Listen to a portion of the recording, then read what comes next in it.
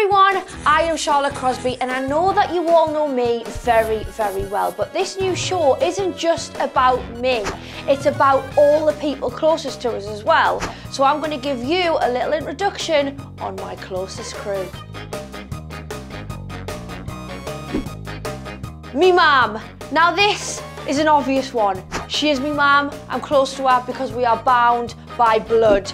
I came out of that woman's vagina. She is a very, very funny woman. We do fight like cat and dog. Do you know how some people are like, oh, my mum's my best friend? I'd like to think she is, but she's really not. She does me head in. My best friend, Melissa, I have known her since we were four years old. We met in nursery and we have been best friends ever since. The friendship has been so long, we are a little bit like sisters as well. She is the most loyal, caring and sweetest girl you'll ever meet.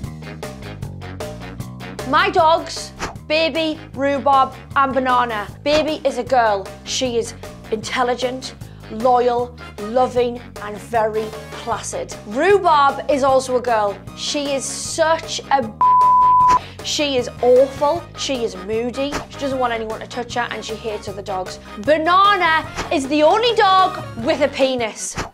It is awful. He is wild and adventurous and mischievous and he loves everything and everyone and all he wants to do is run away. Joshua Ritchie is not my boyfriend, but he is someone who I regularly kiss and cuddle. I'm not telling you whether we have sex because a lady never tells. We do it all the time! Stevie Lux. He is my tour manager. He's very funny. He seems to think that he can take the piss out of everyone else, but he doesn't realise that everyone's taking the piss out of him.